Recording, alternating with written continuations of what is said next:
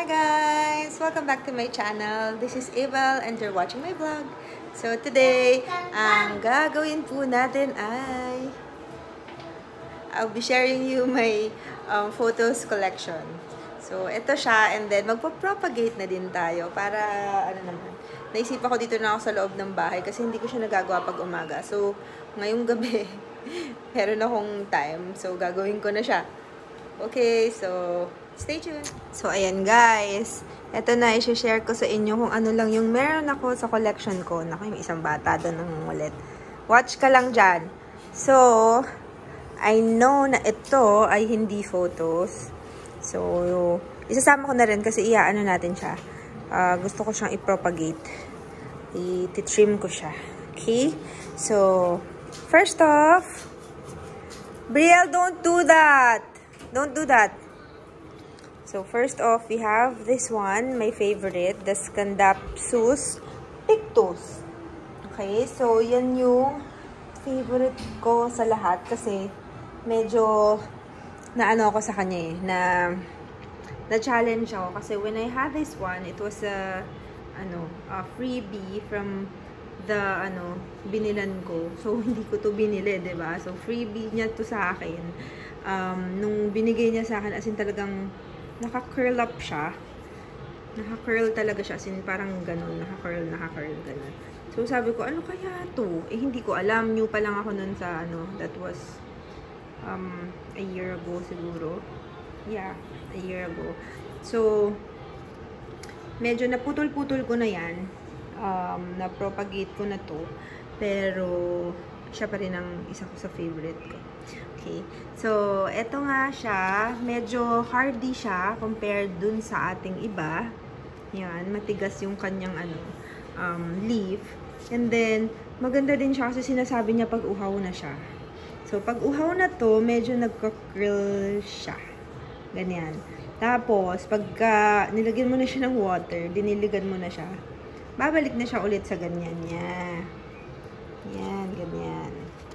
Okay? So, hindi siya ganun kabilis tumubo pag hindi siya masyado nauulanan. Sa observation ko ah, um, pero pag nauulanan siya, dire-dire-diretso siya talaga.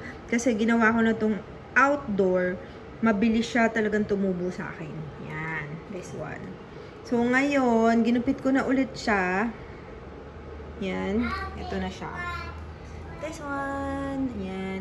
Ano pa lang to, siguro mga one week pa lang ata or two weeks. Hindi, one week pa lang yata. Ayan. Gusto nito sa bright indirect light. Ayan. Medyo humahaba-haba-haba na siya. Ayan natin humahaba na. Layo natin. Ayan. So, next one is my Marble Queen. Ito namang ating marble queen, medyo alam nyo na mabagal siya tumubo. Pero um, okay lang kasi every leaf is different. Every leaf is amazing. So every time na may lumalabas, nakakatuwa si marble queen. At saka marble queen is, um, kaya nga siya tinawag na queen eh. Agaw pansin siya. Yan. Meron ako ditong puti yung lumabas. Ayan. Pinutol ko na kasi siya. Then, ayan. May nag-half moon pa, which is this one. Diba? Ayan. Ito naman, gusto niyan sa bright indirect light. Kasi pagka um, nasa, wala siyang light, nagfe-fade yung color niya na white. Yan, nagfe-fade yan. Pero pagka nasa bright yan, kitang-kita mo yung um, intensity ng puti niya versus sa green. So, yun. Pero wag na magpaarawan, mabilis itong ma masunog. Okay? So, yan siya. And then, I have my manjula. Manjula or manjula. Ayun, no? Um, isa din to sa, ang ganda. Kaso, apakabagal din yan tumubo. Para sa akin, ha? Comment down below kung hindi kayo agree. Pero, para sa akin, medyo mabagal-bagal siya. So, ito din sensitive to sa bright, sa sun. So, mas maganda talaga na sa indirect na bright light siya ilalagay. Yan, ganito ang mangyayari sa puti niya pag nilagay nyo siya sa malapit sa ano, um, araw talaga. Yan. Sample. Kakalabas lang yan. Siguro yung lumabas niyan is super white. Kaya, mabilis siya naging na-burn. Okay. So, this is Manjula. Yan siya. Difference niya sa Marble Queen is ito, may pagka-curly-curly yung kanyang dahon. Ayan o. Tapos ito medyo mahaba. Ito medyo pa-heart shape, pabilog. What's that? There's a sap or something. Okay. So, yan siya. Um, hindi pa to sa akin masyado nagbibigay ng growth. So, sabi nga, i-fertilize daw once a month. Hindi pa ako nakakapag um, bili ng fertilizer. Okay. And then, I have my um, Enjoy, the Pearl and Jade. Yun, ang tawag nila dyan. Pearl and Jade, ang sa atin, short is Enjoy. So, talagang isa to sa pinakamabagal din tumubo. Okay? Sa kanilang lahat, hindi nila gusto masyado yung um, soil na compact. Talaga yung medyo well-draining soil pero nag-hold ng moisture. Ito yung pinaka gusto ng moisture talaga. So ito hindi mo siya pababayaan na hindi bas na hindi na matutuyuan dito kasi ayaw yun ng enjoy. Unlike this one, minsan pag tuyo na okay lang forgiving sila, 'di ba? Pero ito, si Enjoy, ayaw niya. Kailangan lagi siyang um, basa. Laging moist ang kanyang soil. Okay? Yan siya. Maiksi pa lang ang aking enjoy. Wala pa akong lush, pero okay na rin. Yan. And then, we go. Gabi na. Gabi na. Mm. ang batang yan. Okay, so next is we have our um, golden photos. Yan, ang pinakasikat sa lahat. This one, the golden photos. Siya ang pinakamabilis um, tumubo sa lahat. Very forgiving. Kahit na makalimutan mo siya i-water, uh, hindi ka niyang pababayaan. okay, so natuwa ako kasi hinalo ko na rin kasi dito sa pot na to yung neon photo ko. So anyways, ito nga ang ating, um, ito ang dami ko na na-propagate dito. Actually lahat na-propagate ko na. Ayun. Yan. Meron pa kami sa kwarto. Tapos ito. Yan. Yan. Sa kwarto ni Aiden, meron din. Yan. So, ito. Ito nasa dining area namin to eh. Pero tingnan nyo yung um, ako dito. Tingnan nyo ang neon photo ko. Nagkaroon siya nito. ba Parang, you know, Kita nyo? Nagkaroon siya ng variegated. Siguro kasi same pot sila. So, naghahalo na yung kanilang ugat. Nagsha-share na sila. So, nahaluan na siya nung ganun. And this one kasi nasa indoor siya, kaya hindi siya masyadong mag-green. Hindi siya mapusyaw na mapusyaw na green. Yan. So, ito naman, super bilis super bilis din yan tumubo. Kung gusto nyo at starter pa lang kayo sa mga photos, yan ang kunin ninyo. Kasi hindi kayo niyan bibiguin. Hindi siya mamamatay basta-basta sa inyo. Okay? And then, this one is my, I don't know if this is the giant or this is the, um, kasi, ang laki ng dahon niya. Okay? Golden photos din to, pero meron kasi ako dun sa labas. So, ito siguro yung malaki na na ano, na golden photos. Okay, so ayan siya oh. 'Di ba? Ito new leaf niya, medyo shiny shiny yung iba. Sa labas naman to nakalaba, nakalagay. Meron pa akong isa doon nasa labas. Um, partner sila doon. Ito nilagay ko na siya sa poll. Ayan, may upcoming. This is uh, golden photos na medyo big leaf na. Ito yung biggest leaf. Meron pang isa dito na may white siya talaga. Saan na ba yun? Ayan o, oh, white siya eh. This one. Yan, o. Oh, diba? Kaso madumi. Nasa labas kasi to yun. Yan, yan siya. Very mabilis din siyang tumubo. Love na love na love nila ang ulan. So, You will never go wrong with those. Meron pa akong Hawaiian photo sa labas. Um, the giant one. Papakita ko rin sa inyo yun. Um, I'll post it there na lang. So, there you go. That's my, that's my collection. My photos collection. And let's go to how do you propagate it. So, first off, nakikita nyo ba yung mga yan? Okay. So, yan yung mga nodes niya, ba diba? So, pag nakita nyo to, yan, pwede nyo na dyan putulin dito. Twink! Putulin natin dyan. So, sample tayo. Hmm, saan ba tayo magsasample? Parang gusto ko dun. Kaso bago pa yung plant nung ano. Hindi, sige. Um, sample tayo. Pinutol ko siya from here. Okay. So, ganito yung pagputol sa kanya. Yan. Kita nyo? Magkakaputol kasi to. Yan, sila. Ganyan. Kakaganyan sila, ba diba? Yan. So, pinutol ko yan dito. And then, pag naputol nyo na, yan, kasi meron na siya, may kakita nyo yan, oh, parang meron siyang ugat. Yan na, pwede nyo na siyang ilagay sa water, like this one. Yan. Ito, mga 2 weeks na siguro to. Dito. Or more than 2 weeks. Ang haba ng, ng ano eh, roots. Ayan o.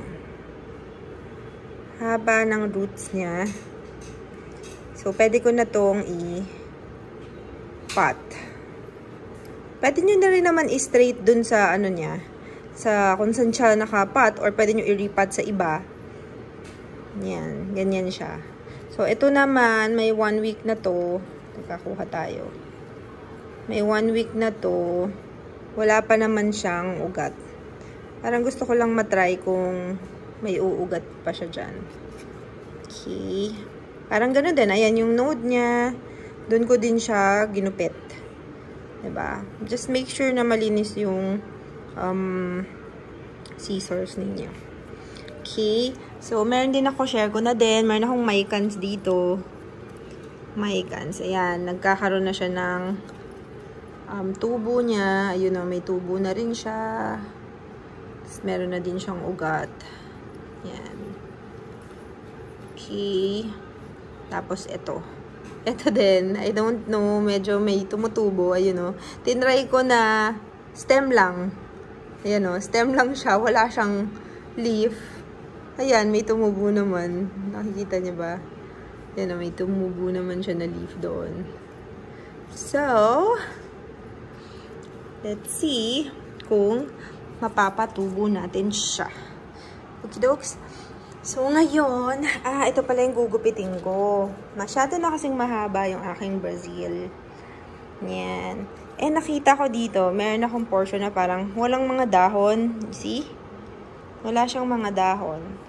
So, gagawin ko, puputulin ko na siya from here. Yeah, putulin ko na siya from here. And then, I will propagate this. Lagay natin sa bottle.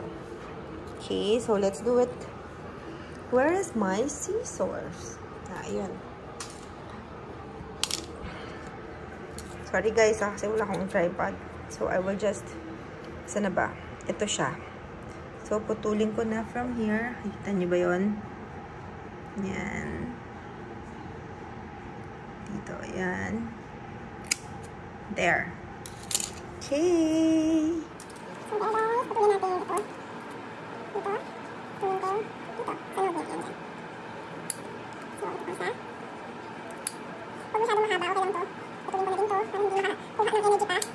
Okay, and then, I will get this. Patuloy ko na din to, lang itong use. Ayan. And then, I'll get this one also. Kita nyo? Ayan. So, patuloy ko na din to.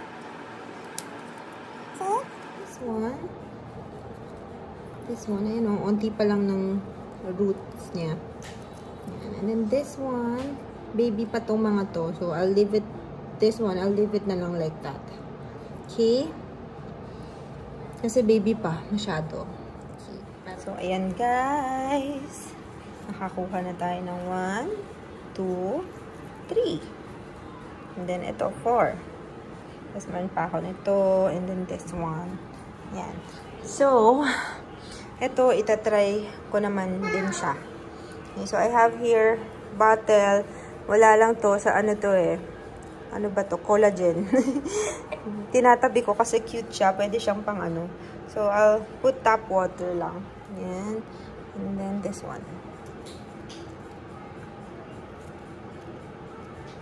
Comment down below guys kung may mali akong nagagawa. Pero this is what I'm used to.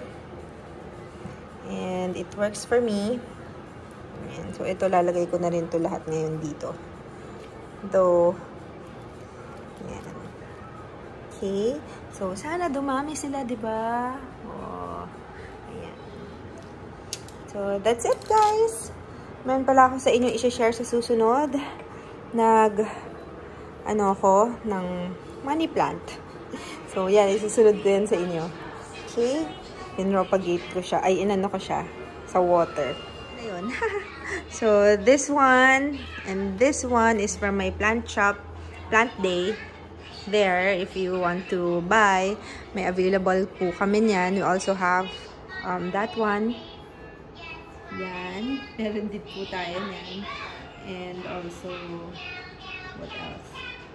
Yung basket na yan. Yan, ginagawa kong stand. Yan. So, that's it guys. Thank you for watching. I hope you enjoyed this um, photos uh, episode.